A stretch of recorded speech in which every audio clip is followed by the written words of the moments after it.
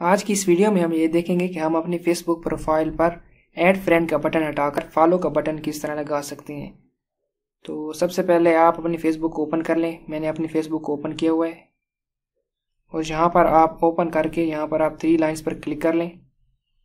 और यहाँ पर नीचे स्क्रॉल करें स्क्रॉल डाउन और यहाँ पर सेटिंग एंड प्राइवेसी को ओपन कर लें। यहाँ पर सेटिंग पर क्लिक कर लें। और यहाँ पर आप फॉलोअर्स एंड पब्लिक कंटेंट को ओपन कर लें।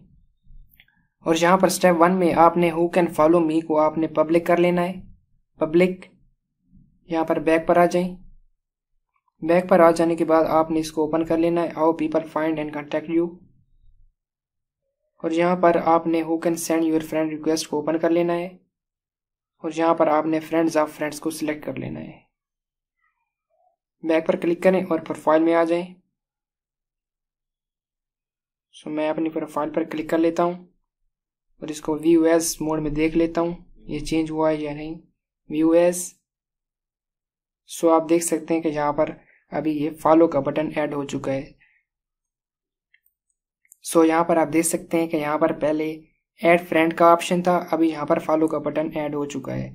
सो आप इस तरह सिंपली अपनी फेसबुक अकाउंट पर ऐड फ्रेंड का बटन हटाकर फॉलो का बटन ऐड कर सकते हैं।